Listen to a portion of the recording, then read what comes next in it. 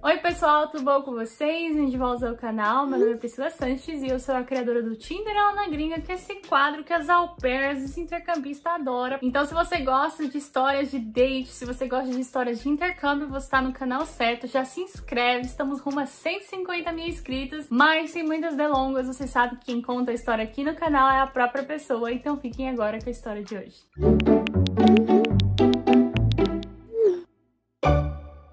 Oi pessoal do canal da Pri, eu me chamo Letícia Lin, eu sou de Fortaleza, Ceará e hoje finalmente eu vou contar um pouquinho da história que eu vivi lá em Manchester, na Inglaterra. Primeiramente, gente, eu fiz um programa de intercâmbio diferente. Ele é aqui, é um projeto aqui da prefeitura da minha cidade e se chama Juventude Sem Fronteiras. Como funciona? Basicamente, eles mandam 100 jovens para né, o exterior sendo 50 para um país que fala espanhol e 50 para um país que fala inglês. E aí tem um processo seletivo, eles dão opções de cidades e você escolhe. No caso, eu escolhi Manchester, por isso que eu fui para lá. E aí já fica a primeira dica, né, para você pesquisar por programas de intercâmbio que tem na sua própria cidade. Porque, por exemplo, várias pessoas que são aqui da minha cidade não conheciam esse intercâmbio até saber que eu fui, né? E também esse intercâmbio ele foi meio que baseado, digamos assim, em outro programa de intercâmbio lá do Maranhão. E sobre esse programa de intercâmbio, é, eles pagam tudo pra gente. Então, além de passagem, hospedagem, tudo, escola também, né, que a gente vai para aprender a língua, esse é o principal objetivo. Além disso, eles ainda dão uma bolsa. Então, para quem foi para Inglaterra, né, que lá a libra é bem mais cara, a gente ganhou uma bolsa de R$ 2.500. E para quem foi para Espanha, né, lá é euro, é bem mais barato, foi R$ 2.000. Eu achei interessante trazer esse fato aqui para vocês porque realmente às vezes tem algum projeto de intercâmbio legal na nossa cidade que a gente pode participar e você nem sabe, né? Eu fui para uma casa de família e antes da gente ir, eles dão pra gente algumas informações. E aí quando eu vi o nome do casal, eu já fiquei assim: "Que? Rosa? Rosa é nome de brasileira, eu acho". E realmente dito e feito, era uma brasileira. E aí eles dão já algumas informações e tal, o número de celular, né, do WhatsApp. Eu não consegui entrar em contato com eles e nem ver a casa deles no Google Maps, que eles também deram o endereço. Então, enquanto todos os meus amigos estavam vendo, eu estava no escuro e não sabia de nada. Então eu já fiquei assim, hum. Vai responder não, puta! Meu Deus do céu. Calma, Letícia, calma. Me acalmei e quando eu cheguei lá, a Rosemont, né? Hi, como você está?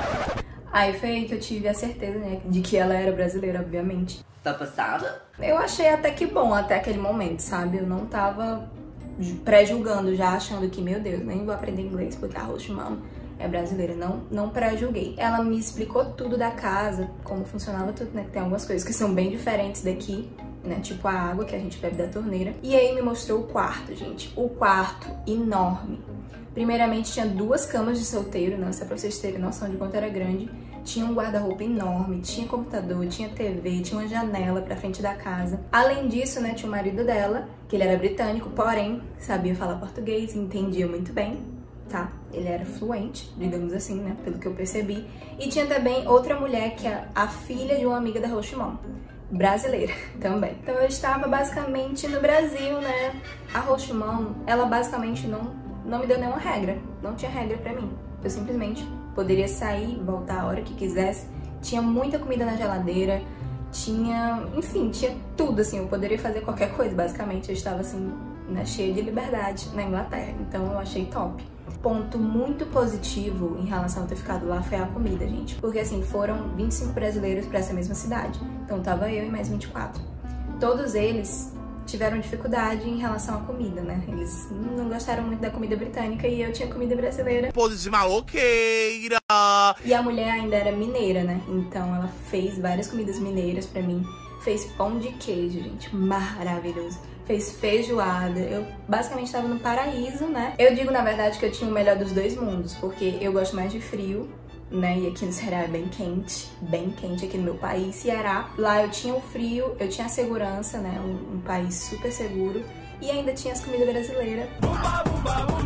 O único ponto ruim era que a casa era bem distante da escola, então era mais ou menos uma hora de ônibus para eu chegar na escola, mas demorava tanto assim porque os ônibus lá eles andam lentamente, né? Não é, não é igual aqui no Brasil que os ônibus andam como se fosse uma ambulância, né? Pelo menos aqui em Fortaleza, não sei na cidade de vocês.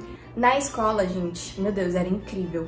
Assim, os professores que eu tive contato, muito, muito legais. Todo o staff lá, todo é, o diretor, enfim, todo mundo era super legal. E lá na escola, obviamente, tinha gente de todo lugar do mundo. Tinha árabe, tinha francês, tinha tailandês, tinha espanhol, enfim. Tive contato aí com o mundo inteiro, né, digamos, basicamente isso. E aí, gente, uma das histórias que eu quero contar pra vocês aqui é de um árabe que eu conheci lá. que eu não sei, gente, eu não sei o que aconteceu, mas não só ele, né, alguns outros árabes. Eles tiveram, assim, uma coisa comigo não sei, assim, uma paixonite, sabe? Os árabes chonaram em mim. Não sei o que houve, não sei o que ocorreu. E teve esse em específico que eu fiquei assim, ele vai me sequestrar. Ele vai me forçar a cara com ele. Foi isso que eu pensei. O que ocorreu? Ele era da minha sala. Então, desde o início das aulas, desde a primeira semana, ele já começou a já começou com os olhares. Então era um olhar assim, sério, estranho, meio psicopata. Eu fiquei assim, mas até aí tudo bem, tá só olhando. Aí, certo dia, eu tava lá na recepção, aí ele me chamou, Letícia, vem aqui. Aí ele, olha aqui o que, é que eu tô escutando. Ele tirou seu AirPod, né, em 2018 já tinha seu AirPod. Ele tava ouvindo um cover meu, né, porque eu canto, pra quem não sabe. E eu não tinha ocultado pra ele que eu cantava, que eu fazia cover, que eu tinha um canal, né, de cover, que era só de covers na época. Quando eu fui ver, ele tava ouvindo eu cantando em português. Legal. Top. Assim, eu fiquei bem sem graça, né? Porque realmente ele estava me stalkeando. No dia seguinte, eu tava lá na aula com ele, na mesma mesa. Aí, é, ele vira pra mim, pega o celular dele, desbloqueia. E a tela de bloqueio dele, gente, era o quê? Uma foto minha muito antiga que tinha no Instagram. Ah, legal. Fora, fingindo ali, mas por dentro, ele vai me sequestrar. Ele vai me sequestrar. Assim, eu fiquei com medo porque, enfim, né? estranho esse jeito de flertar, né? Alguém bem invasivo. Mas eu acho que é algo assim da cultura deles, digamos, porque até onde a gente sabe, né, e vê pelos filmes e tal, novelas, eles basicamente é tudo arranjado, né, o casamento deles e tal. Então meio que não tem esse negócio do flerte. Então ele definitivamente não sabia flertar e ele estava sendo muito invasivo eu estava realmente com medo, de verdade, assim. O estopim foi quando eu estava lá na escola, né, mexendo no meu celular de boas, e aí ele começa a curtir todas as minhas fotos do Instagram, gente. Mas, ai, mas o que é que tem? O que é que tem a ver isso? Porque assim, quando a gente tá crushando alguém, a gente vai lá e curte uma, duas fotos, né, pra dizer oi, gato, me nota, me nota. Eu tinha mais de 200 posts na época já, só que ele tava curtindo sem parar, gente, era um atrás da outra. A minha teoria é que ele tava entrando numa foto curtindo, entrando na outra curtindo, entrando na outra curtindo. Isso é meio coisa de psicopata, né? Não sei. Mas eu fiquei bem perturbada, né? Somando com tudo que já tava ocorrendo. E aí o que foi que eu fiz? Deu bloco. Ele percebeu, respeitou na aula, já fiquei distante, não sentei mais na mesa com ele, evitei até olhar, né, pra ver se ele se tocava e se tocou e respeitou, né? Pelo menos isso. Até que passaram duas semanas mais ou menos e, enfim, eu já não notava mais ele estranho comigo, resolvi desbloquear. Na mesma hora, ele me mandou uma mensagem falando: Ai, por que, que você me bloqueou? Não sei o que. Ele não tinha nem notado, ele não sabia nem por que, que eu tinha bloqueado ele, né? Ou tava se fazendo de sonso. E aí eu expliquei: Olha, porque você fez umas coisas que eu achei invasivo, colocando a minha foto na sua, na sua tela de bloqueio, não sei o que. Eu tenho essa conversa até hoje no meu Instagram. E aí ele: Ah, isso te incomodou? Sim. Ah, tá bom, não vou mais fazer isso. E aí ele começou a curtir de novo todas as minhas fotos no Instagram. Aí eu falei, você vai realmente curtir todas as minhas fotos no Instagram? Aí ele, isso te incomoda? Aí eu, sim. Ah, tá bom, vou parar. E foi aí que ele parou. Quando eu falei, porque senão ele não teria se tocado. Essa foi uma das histórias sinistras que eu vivi com um árabe, né? Que no caso foi esse. E teve outra história que, na verdade, digamos que foi a reviravolta da história, né? Tem outra história com esse mesmo árabe que, digamos que ele foi muito legal, mas foi um legal já extremo também né? Que eu não sei se, se amigos meus fariam isso. Eu passei dois meses lá, um dia antes de ir embora, eu saí com ele, com outro amigo árabe, e eu era muito amigo desse outro, né? O Jabber, o nome dele. Muito gentil, muito legal, basicamente o oposto desse outro, né? Ele era muito tímido, o Jabber.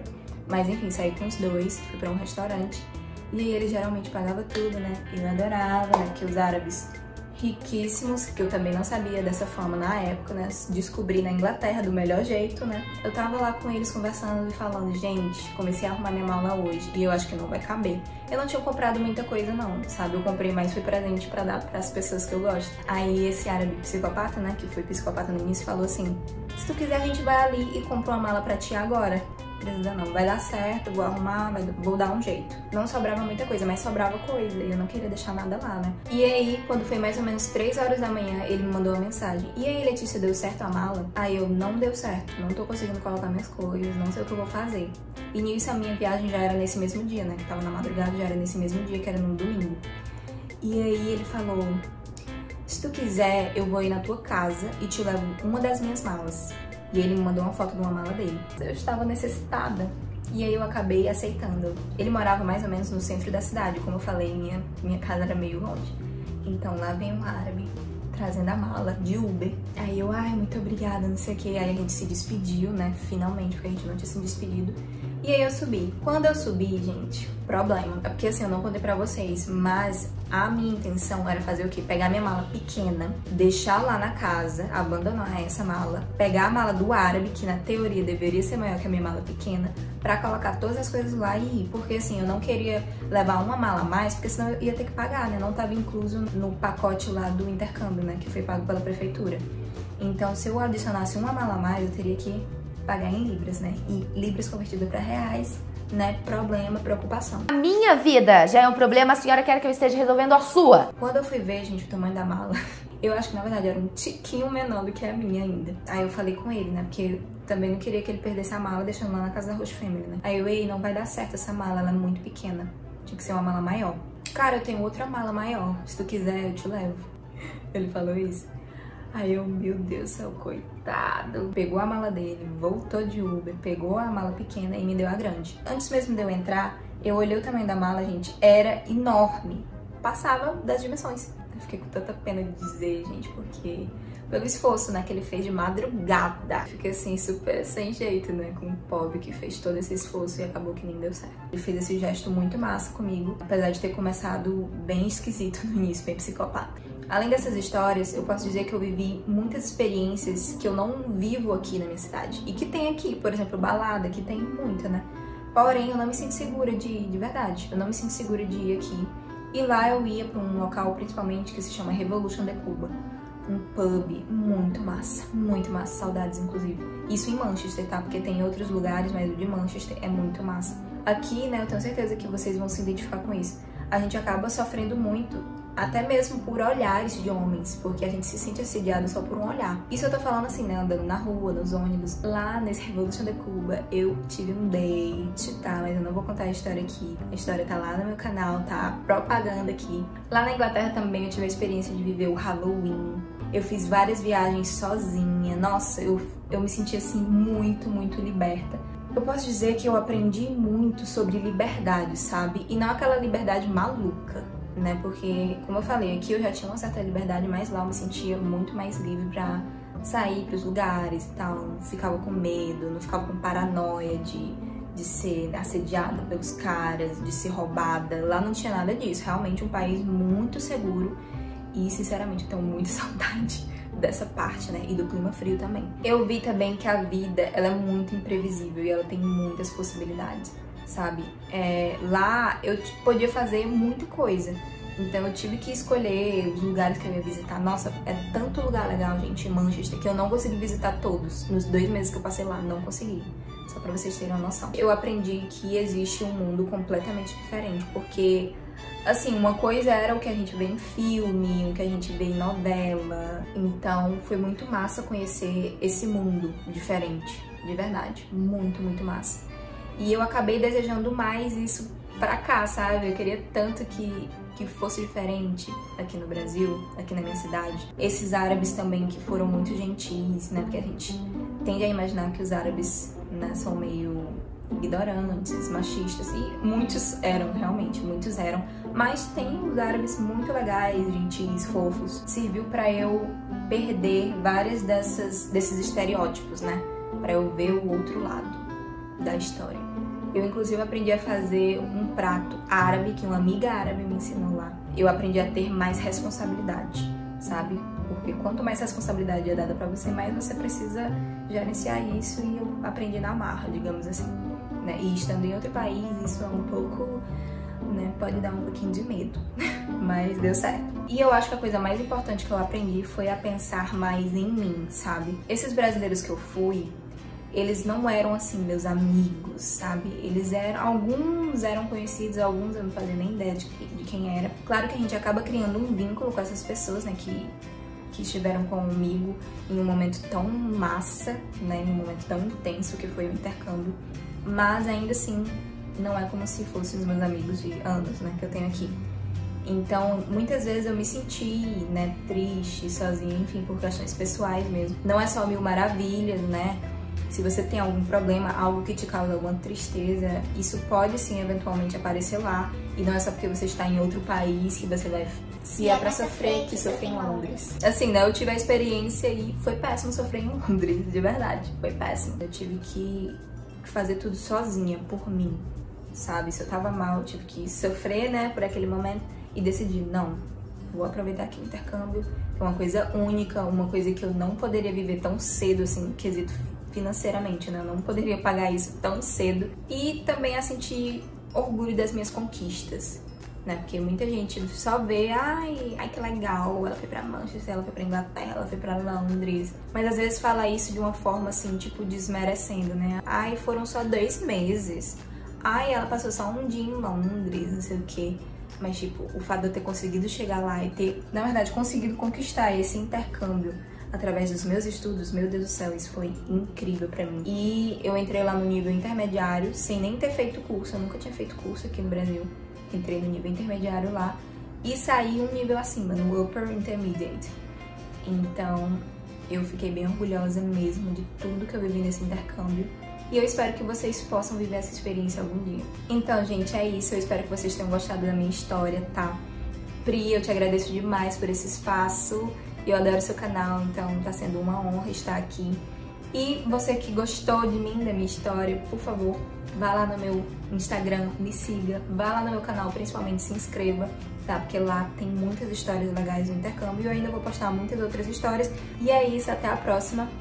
Beijo, tchau! Eu espero que você tenha gostado da história de hoje. Não se esqueça de se inscrever e ativar as notificações aqui do canal para você não perder nenhum vídeo. E lembrando que os vídeos do Tinderela têm uma meta de 2 mil likes para soltar a próxima história. Eu comecei a fazer isso esse ano e tem ajudado muito no crescimento do canal, então eu já deixo aqui o meu muito obrigada a você. E no mais, se você quiser participar contando a sua história, é só mandar um e-mail para esse endereço que tá aparecendo aqui na tela que eu vou te responder explicando como faz para você vir aqui no canal contar a sua história. Eu vou ficando por aqui, um beijo! Beijo e até a próxima. Tchau!